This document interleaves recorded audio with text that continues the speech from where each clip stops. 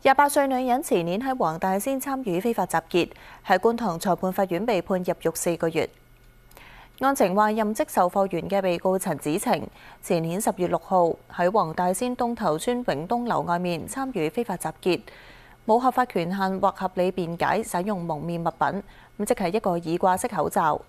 早前被裁定違反禁蒙面法同埋非法集結兩項罪名成立。辯方求情話，被告因為好奇而喺案發現場出現，咁事後深感後悔。